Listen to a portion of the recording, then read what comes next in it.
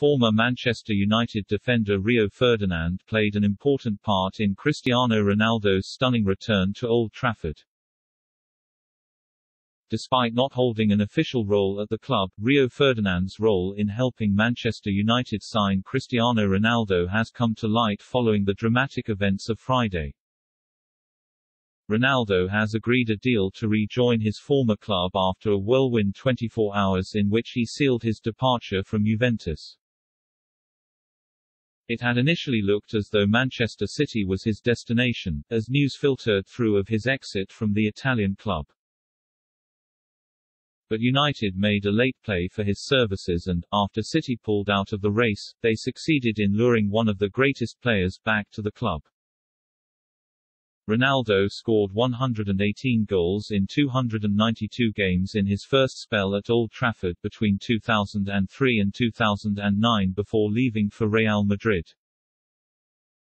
United have agreed to pay Juventus an initial £12.85 million pounds, 15 million euros, with another £6 pounds.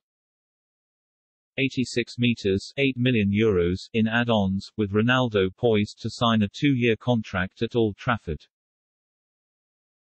The 36-year-old forward will undergo a medical in Portugal ahead of his country's international fixtures and will then be eligible to play for the club after the international break. It will undoubtedly be a stunning return to the Premier League for the Portuguese forward, and the Athletic reports that fans have Ferdinand to thank for engineering it. While former manager Sir Alex Ferguson was influential behind the scenes, and Ole Gunnar Solskjaer personally advocated for his return, it was Ferdinand who stepped up to do all he could to make it happen. Ferdinand does not hold an official role with the club he played for between 2002 and 2014, but he remains a passionate fan and advocate for the club. The report states that, once he heard of the club's intentions, he stepped in heavily, almost acting as a broker on behalf of United.